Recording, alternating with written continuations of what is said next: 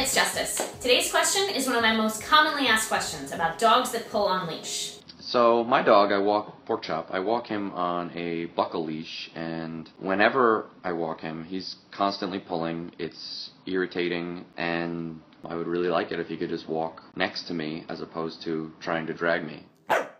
Pulling on leash takes an incredible amount of patience to actually overcome. You have to understand that when a dog pulls on leash, it's because he wants to get someplace, and every step he takes closer to where he wants to go while he's pulling teaches him that pulling works. There are a few things you can do on your walk. Bring treats with you. Once again, you've got to be more exciting than everything outside. As you're walking along, call out his name. If he looks at you, give him a treat. Encourage him to check in with you. Start incorporating some walk sits, walk sits on your walk. Or if your dog knows a sit stay, incorporate a sit stay on your walk. You can also try to just do an about face, call out his name, and turn the opposite direction really quickly. Eventually, he'll be forced to check in with you. And finally, take some portions of your walk where you're going to be very patient, and every time he pulls, you're going to stop. I'd also encourage you to think about what kind of hardware you're walking your dog on. A buckle collar and a harness don't have any action to tell the dog when he's walking well and when he's not walking well.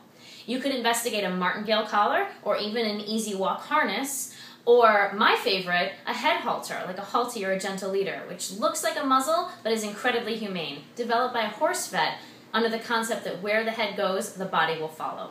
Good luck. Today's trick is spin. It's not Spider's forte, but we'll roll with it. You're going to start off with a treat in your hand, and you're basically just luring your dog's head around in a circle. Oh, let's try again. Not his forte.